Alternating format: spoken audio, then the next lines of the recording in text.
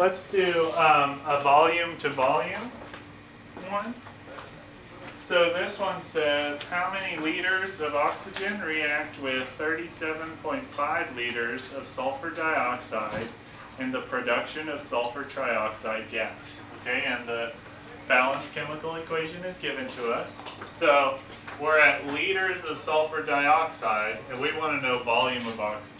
What's the first thing we need to do? Always. Balance equation. Well, the balance, the equation's already balanced, right? So Convert to moles. moles, right? Okay, so what's on the bottom here? Two moles of salt. No, Mhm. one twenty, yeah, twenty-two. Very good. Twenty-two point four liters of sulfur dioxide. And on the top, one mole sulfur dioxide. Okay, then what? Yeah, we're gonna do the mole to mole ratio. Very good. What's on the bottom here? Two. Two moles of what? Sulfur dioxide, and on the top, One mole of oxygen. one mole of oxygen.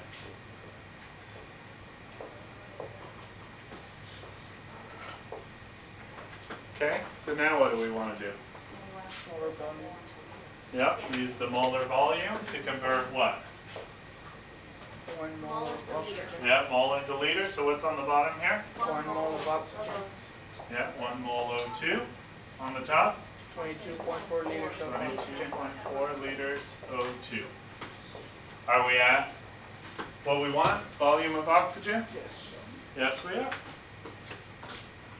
So again, just got to figure out what am I canceling out and what do I want in the next step. So everybody try it with me. 37.5 divided by 22.4. Divide that by 2, multiply that by 22.4, and to 3 sig figs, okay? So this one's going to be... 18.8. Yep, 18.8 liters of oxygen. Very good. Very proud of you. Doing awesome. All of you are doing awesome. Questions on this one? Wonderful, wonderful, wonderful.